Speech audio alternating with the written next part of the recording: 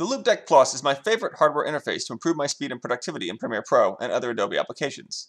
It is designed primarily for color work, allowing you to just turn any dial to optimize the clip on screen, adding the needed effect if necessary.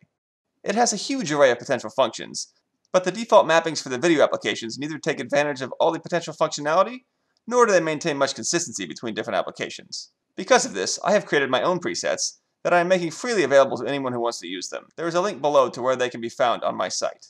The presets are easy to import. Just select the zip file next to the instructions and choose which application mappings you want to import. I also have created labeling overlays for various applications that match these presets. Versions of these overlays can be purchased from kbcovers.com.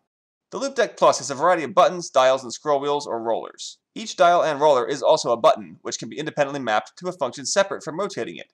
In many cases, this press is mapped to reset the value that the rotating is adjusting. Pretty much all inputs have a duplicate option available to be mapped when the function or Fn key is held down. For example, pressing the copy button copies the selected object to the clipboard, while pressing that button while holding down Fn will cause the selected object to be cut to the clipboard instead. On my overlays, I denote the main action of an input in white text and the alternate Fn action in blue text. Now the dials can be run in their default mode, which primarily targets color controls, or custom mode can be toggled on, and a separate set of mappings, primarily targeting trimming and assembly, will be activated. This secondary set of functions also allows Fn alternate mappings for a total of four potential functions for each of the custom mode dials. Main, Fn, custom, and custom plus Fn, plus click presses for each of those cases.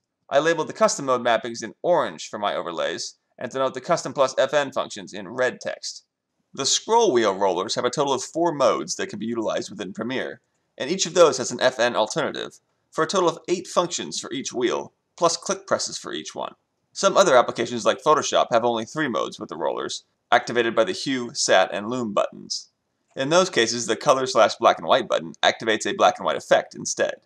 But in Premiere Pro and After Effects, that button toggles a fourth mode for the scroll wheels, which I will call B&W mode, in comparison to Hue, Saturation, and Luma modes, whose function mappings rarely relate to those names. I usually use B&W mode for navigation tools, and the rest will vary from there. Unlike the Fn alternate functions, the various modes allow the scroll wheels to give access to multiple functions with a single hand, allowing you to keep the other hand on the keyboard or mouse as the case may be. Now I don't see the Loupedeck totally replacing either one, but utilized correctly, it could probably replace 90% of your keyboard interaction, especially if you can efficiently leverage their implementation of the modifier keys, like Control, Alt, and Shift. The modifier keys are activated in keyboard mode, which is toggled by the button above them to the left.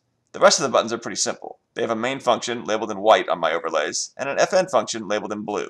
I will examine the mappings and functions in individual programs in my upcoming videos, so keep an eye out for those. For more detailed info, check out techwithmikefirst.com.